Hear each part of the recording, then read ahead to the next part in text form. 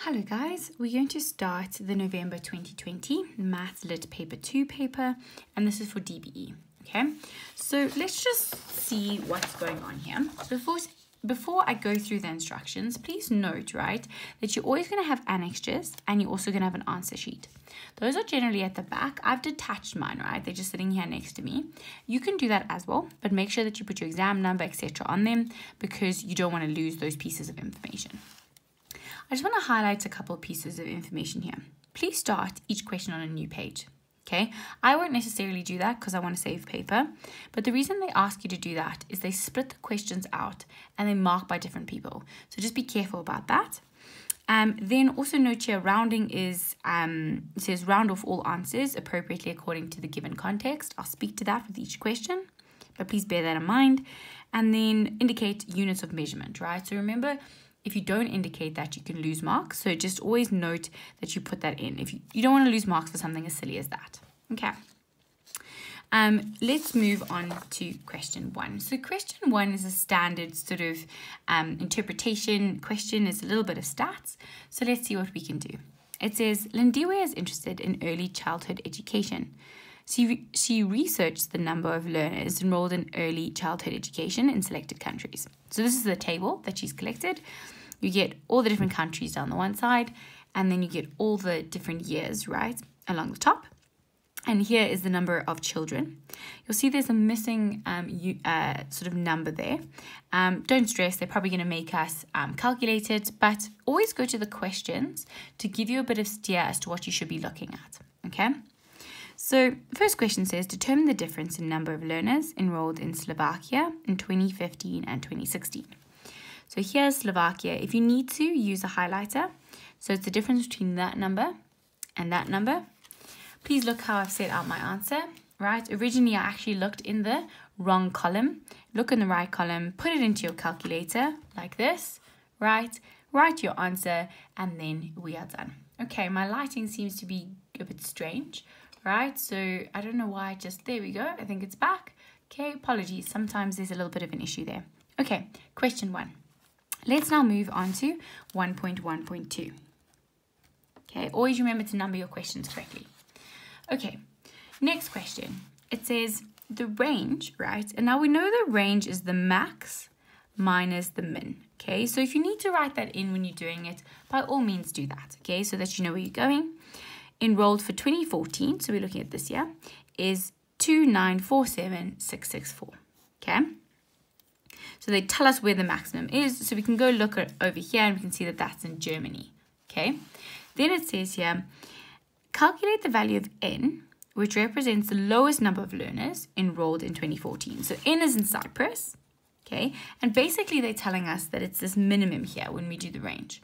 So let's go and write this out correctly. Okay. So we see and, and this is, they're just testing whether you understand how to do range, right? So range equals your max minus your min.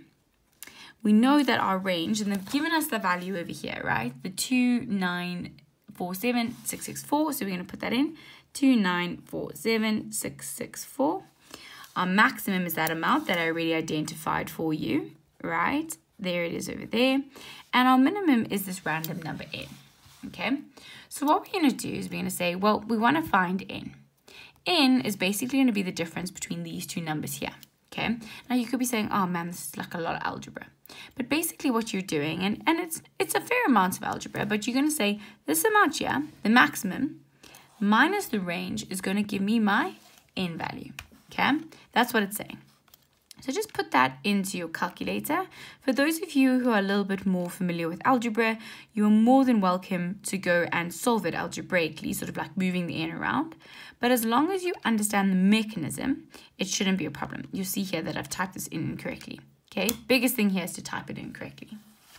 So my n value is 22772. Okay, perfect. That's my answer there. Let's go to the next question and continue. right? we're making good progress. Determine the trend shown by the number of learners enrolled in Greece. Okay, so let's look at Greece.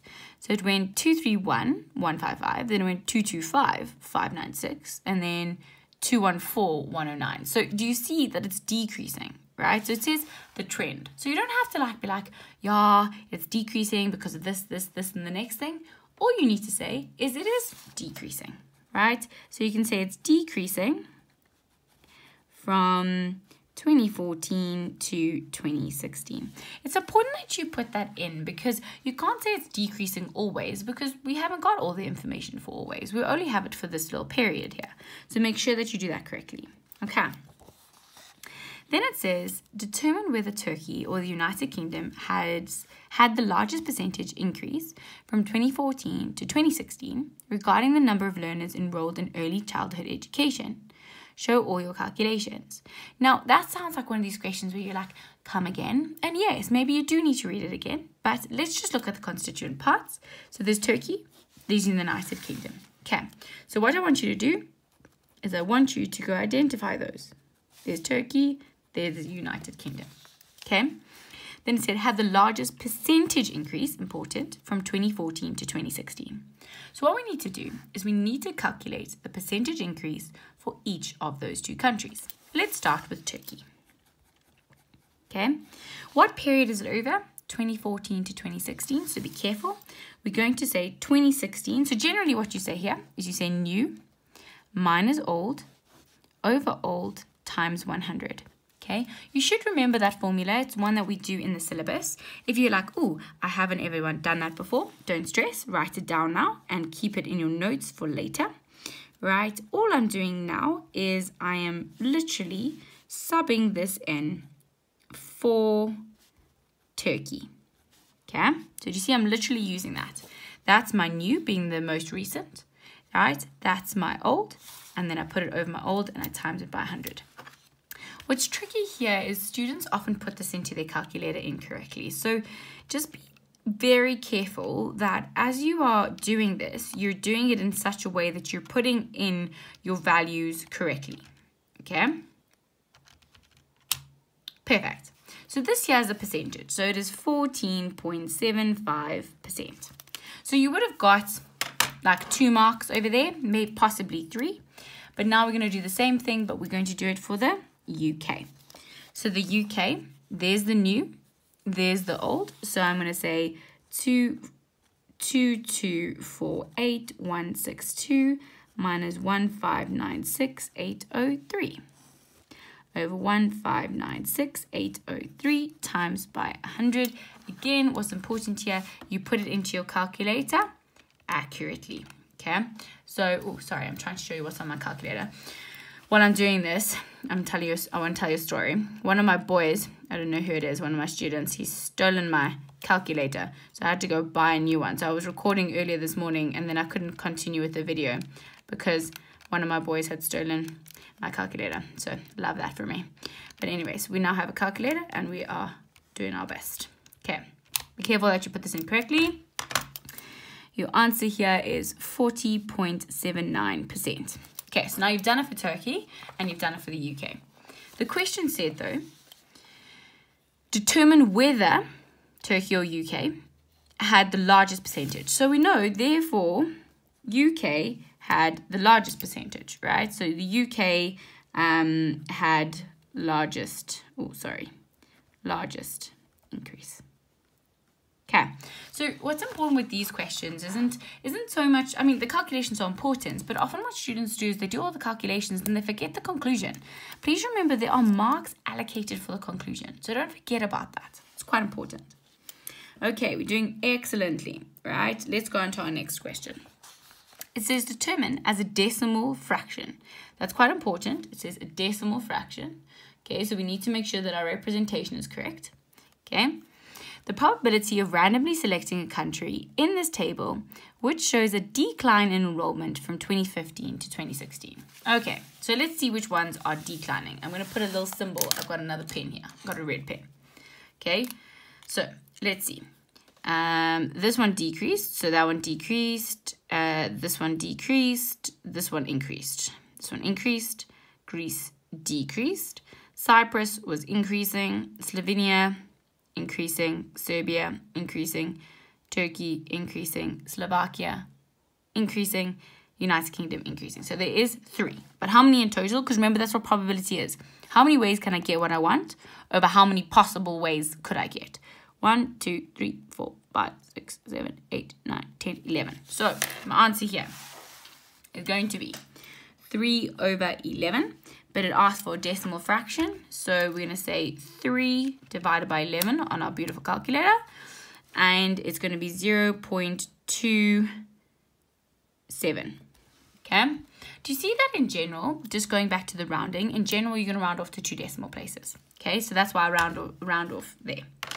Okay, let's do our last question. Okay, our last question is quite a big one, so I'm just going to quickly go into the back of this page. Okay, let's just move on. 1.1.6. This one's quite a big question, but we're not fazed. We're just going to continue going. So it says the cost per child for early childhood education in Denmark in 2016 was that much. With the comparative cost in Slovenia, Slovenia was that much per month. Okay, so it says Lindiwe stated that the ratio of the total amount spent for all the learners enrolled in 2016 in Denmark compared to Slovenia is more than 5 to 1. It's more than 5 to 1. Okay, so we basically have to find this ratio. And I could be saying, oh, but there's like a lot of things happening there. Basically, what we need to do is we need to say, well, the amount that they spend per month, right? We want to times it up so that we find the total. So we're going to say the amount they spend per month on each child times by the number of children. We're going to do that for Denmark and we're going to do Slovenia. And that will basically tell us about the allocation between uh, the allocation in Denmark towards this early childhood education and the allocation in total for Slovenia as well. We're going to put in a ratio, simplify that ratio as far as possible, and see whether it's 5 to 1 or not. Okay, if it's larger, smaller, equal to, right? That's what we're going to figure out. So let's start with good old Denmark, right? So we're going to look at Denmark. And Denmark, we're going to say 5 to 0 0.83. It said 2016. So let's find Denmark. Denmark in 2016 is 284 655. Okay. So that's looking pretty good. We put that into our calculator. Please make sure you put it in correctly. It is very easy to get wrong and you don't want to lose mark for things like that. Okay, they spent lots of money here. So 1, 4, 8, 2, 5, 6, 8, 6, 3.70. Okay, perfect. What you can do is you can store this on your calculator if you want to, right? So you can go shift, store, and I'm storing it as A. It just means that every time I press alpha A, right, I then get my number back, which means I don't have to type it in again. Particularly helpful when you have big numbers. Okay, so we've done Denmark. And then what was the other country? It was Slovenia. Okay, Slovenia, they had 350 Rand per um, child, right? Or per month per child. Okay, let's go to Slovenia. Slovenia is also in 2016, so it's going to be 85407. Okay um, make sure that we cut putting it in correctly and we get two two nine eight nine two four five zero. Okay. Now what's quite important is we need to look at and think about units here right? I haven't put any units in. But what is it? It's this euro sign here. Okay so don't forget to put those euro signs in there Okay, now we need to do a ratio. The ratio that they asked us to do was Denmark to Slovenia. So I'm going to say Denmark to Slovenia. And that's going to be the one for 8256863.70 to, well, you put like a little ratio, sorry. I wrote that a bit, a bit ugly now. Okay, so you put that in. Okay, right. So we just need to check that we've done this correctly, right? Um, so it talks about the total amount spent for all the learners, right, in 2016. Oh, so I've made a little bit of an error. In 2016, what are we talking about there? The whole year. What is this that I've done here? It's per month, okay? It's per month. So what we need to do is we need to times each of these by 12. But the reality of it is, right, because I'm timesing each of them by 12, it doesn't actually make that much difference, right? Because those two 12s, when I divide through, they're going to fall away. So just to note that you need to you need to times by 12 because it did say in 2016 but you'll see that whether you times by 12 or not you'll get the same answer now you could be saying yo ma'am i don't know what you're saying but basically what i'm saying is i'm saying this the, these numbers just by themselves is month compared to month timesing it by 12 is year compared to year and we want to make sure that this side is 1 right and then to make this side 1 what do i have to do well i have to divide it by itself right? That's what you have to do, right? And what I do to the one side, I have to do to the other side. So then I have to also, um, I think I'm writing this wrong. Um, I have to also divide this side by the same amount. So this amount that I have here, remember what did I save my previous Denmark as? I, did, I put it as A. I'm dividing it by my answer. That was what Slovenia was. And it gives me 4.9596 dot dot dot. Okay, you could have rounded off if you want to, that's fine. But now we have this ratio. So it's saying for every one euro that was spent in Slovenia, 4.9596, etc., etc., was spent in Denmark. Right? What was the statement we had to actually disprove or substantiate? Well, it said it Lindiwe stated that the ratio of the total amount spent for all the learners enrolled in 2016 in Denmark compared to Slovenia is more than 5 to 1. So is this true? Is it greater than 5 to 1? No. Then you say, then you say, therefore, no. Lindiwe is wrong. So please remember to always come full circle with your answers. A lot of students, what they do is they forget that conclusion. Okay, so now we've done a fair amount. We've just done just under 25 marks. That's like one sixth of the paper. So not bad. Let's continue to 1.2.